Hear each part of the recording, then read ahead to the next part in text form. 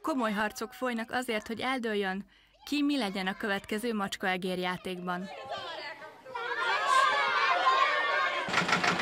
Ezután pedig traktorozhatnak egyet a gyerekek. De a legtöbbjüknek nem is a programok számítanak igazán. Mit szoktatok csinálni? Hát játszani, meg az osztályban lévő barátaimmal lenni, mert nyári szünetben valószínűleg csak egyszer találkozunk a szülinapi bulimon. 33 kisiskolás tölti a napjait itt, az első Városlődi napközi Erzsébet táborban.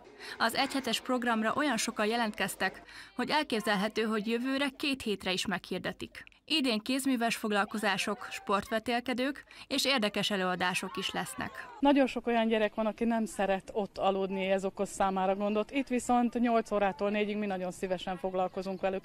És elgondoltuk, hogy milyen értékeink vannak. Összeraktuk a honismereti dolgainkat, összeraktuk az egészséges életmóddal kapcsolatos teendőket, és egy nagyon szép kis programot a kollégákkal összeállítottunk. Szépen így fölfele.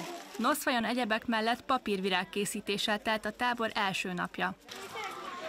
Utána pedig a gyerekek hullahop karikázással és csónakázással töltötték az idejüket. Látom itt a mögöttem lévő feliraton is, hogy nagybetűkkel hirdeti, hogy vakáció van. A nyáron mintegy 500 településen lesznek ilyen napközi Erzsébet táborok, az ott alvó zánkai és fonyódligeti táborok mellett. A család, ifjúság és nemzetközi ügyekért felelős államtitkár azt mondta, a 2015-ben indított pályázati lehetőség egyre népszerűbb. Idén 40 ezer gyermekkel terveztek, ám a másfélszeres túljelentkezés miatt csak nem 55 ezer diák számára hirdették meg az Erzsébet táborokat. Amit megpróbálunk megoldani az Erzsébet táborokon belül, hogy mindaz, amit ennyire szerettek, az minden legyen meg, és mindaz, ami meg a kötelezettségek közé tartozik, az egy picit soroljon hátrébb, hiszen ilyenkor nektek is arról kell, hogy szóljon a vakáció, arról kell, hogy szóljon a nyári szünidő, hogy jól érzitek magatokat, hogy szabadon érzitek jól magatokat, hogy együtt vagytok, hogy tudtok sokat nevetni, tudtok sokat futkározni, és kevésbé kell arra koncentrálni, hogy éppen mi az aznapi lecke, vagy mit kell bepakolni az iskolatáskába. Novák Katalin hozzátette,